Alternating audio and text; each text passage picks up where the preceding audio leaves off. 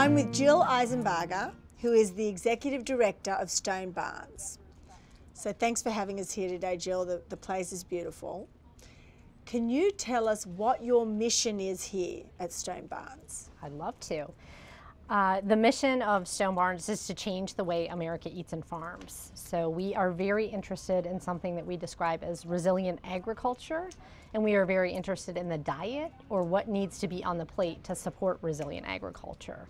So we want people to kind of change the pattern of growing and eating so that we have healthier soils, healthier water, healthier people. Wow, that is a big undertaking. it sure how, is. How do you, what are some examples of programs you invest in? Mm -hmm. So we, um, we do significant work with young farmers. So the average age of the farmer in the U.S. is um, over 58 years old and fewer than 6% of our farmers are under 35. Wow. So we are extremely concerned about the future of growing food because there are too few young people who are interested in agriculture.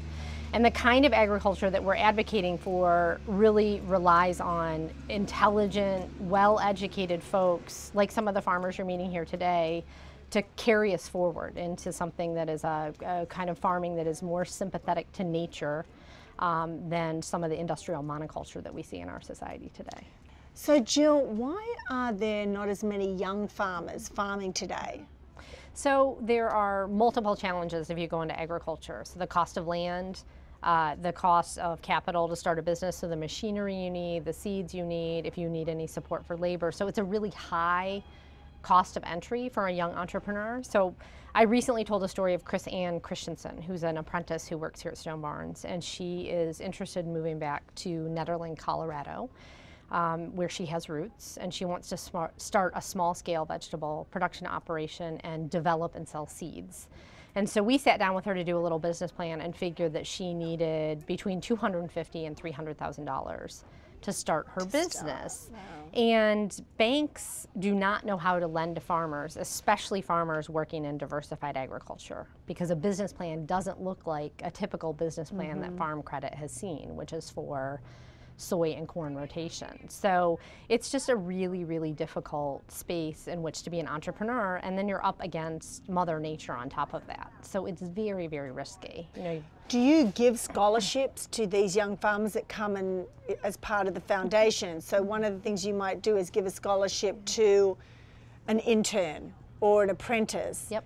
So that they can then go and start their own farm and then do they pay you back or do mm-hmm. they yeah. We don't typically give them scholarships after they leave the mm -hmm. farm, so we help support them while they're here. They receive a stipend.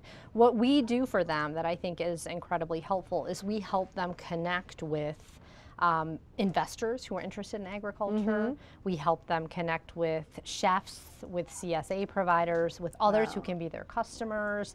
We help them network with seed breeders in the region they want to go to. We help them try to find access to land through land trusts and conservation organizations we know. So we really leverage the connections that a, that a place like this that's really become a beacon for agriculture has. So you become a mentor for exactly. how many people, how many apprentices do you have a year? We typically have between 6 and 12. So it's a very intensive program. So you take Jack Algiere, who yes. you spoke with earlier, and one of the real benefits to being here if you're a young person is to spend a lot of hours with Jack, just working with him and really getting that transfer of knowledge that he's accumulated over his, you know, lifetime of, of farming and growing. So we try to keep the numbers small so that those one-on-one -on -one interactions can happen. But we've been doing this program for eight or 10 years, so we have more than 100 apprentices out there in the world now working on farms or food systems change or... Do you feel at Stone Barns you're on the forefront of this uh, revolution? In a way, it's a food revolution. Mm -hmm. Do you feel like people are coming to you, to the foundation now and saying, please tell us how we can we can do this soil and rejuvenate the soil? Mm -hmm. Yeah, I mean, I like I like to think we are. I think that there are many, many dynamic and interesting people working in the food movement. I think we have a couple sweet spots. So um, what I'm really excited about that we're doing here is I feel like we're placing a deep bet on people. So kind of the next generation of dynamic leaders who are really going to help change the food system. And so we talked about young farmers, but the other place we're doing that is with young chefs And so what I love is the intersection between those young farmers and young chefs. So we have the opportunity to have a very rapid feedback loop. So Jason Grauer, one of our field managers, can grow something, take it into a great young cook who's working in Dan Barber's kitchen and get immediate feedback about does it taste good? Is it high quality?